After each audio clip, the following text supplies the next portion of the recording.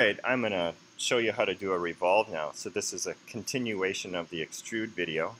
First I'm going to show you a couple of things that you can do over here in the feature tree. So every time you make a change to your object, it adds that feature or change over here. So we started with this sketch, which you can see outlined. Then we did a one inch extrude of that whole area. Then I made another sketch, which was the hole on top. And then I used uh, remove extrude to drill that down as a hole. Now, what I'm going to do is I'm going to undo some of that stuff by deleting it. So I'm going to start here with the extrude 2. Notice that took that hole away. I can delete sketch 2. That took that circle off the top. And I can delete that extrude. Now I'm back to my original sketch. So this time, instead of doing an extrude, I'm going to do a revolve. And the revolve tool is right here. The way that it works is it needs two pieces of information. The first thing it needs is a face or a region that is going to be revolved.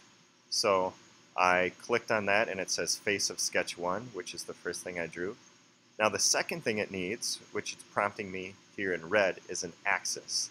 So that would be where it's going to rotate. I'm going to choose this line right here. That's me.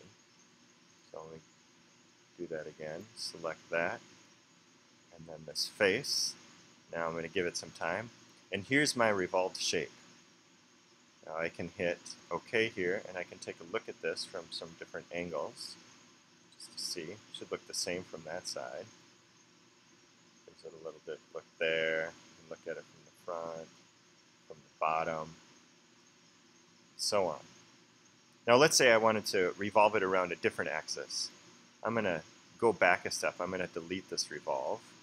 I'm going to reorient this so it's back that direction. Let's say I wanted to revolve it around this. It's going to give me a very different shape. So I click revolve. I click on the shape that I want. And then I click revolve axis. And then I click that.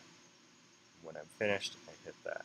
So now, zoom out here. This gives me a very different part and look at this from different angles. Of course, if I want to undo that, I can either go undo or I could delete that revolve. There I am back to my original.